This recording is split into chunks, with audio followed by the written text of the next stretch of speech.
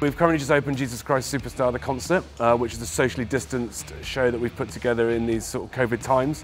Uh, we've now got it open for six weeks with a, with a 30% of our occupancy, so only 390 seats to sell out of 1,200 normally.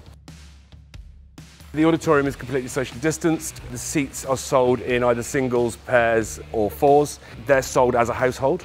Uh, we then have a, a meter between seats uh, laterally and every other row is off sale so, so we could retain socially distanced across the whole auditorium.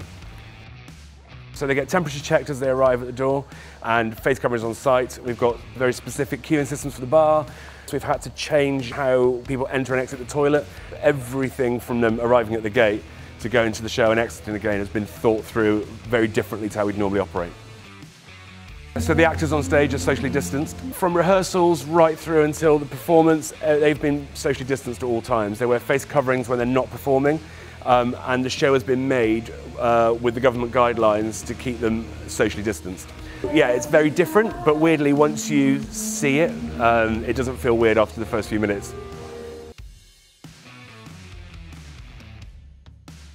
Jesus Christ Superstar, which we made in 2016, has gone back to the original kind of ethos of the concept album um, and those original musicians. So it's like a gig. It works really well here. The people who are in the show were, were all available, funny enough, uh, as was I. So it was a great opportunity to um, to have another go at it.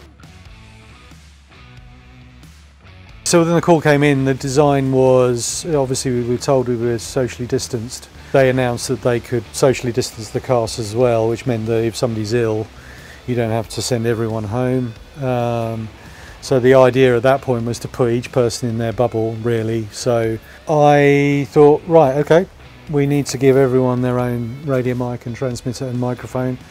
No swaps, no um, sharing. The actors put those microphones on themselves and then it comes off at the end of the show. They put they put it in a pile in their dressing room. We get it, we clean it, it gets set up again, and uh, away we go. But on this show, I think that's fine because these are young, trendy people wearing trendy, you know, sound equipment. We see the cables, we see the packs if we need to, um, which is quite fun. You know, it's all the equipment. He, uh, Jesus even gets uh, crucified on a microphone stand. So the whole look of the show is about gigging.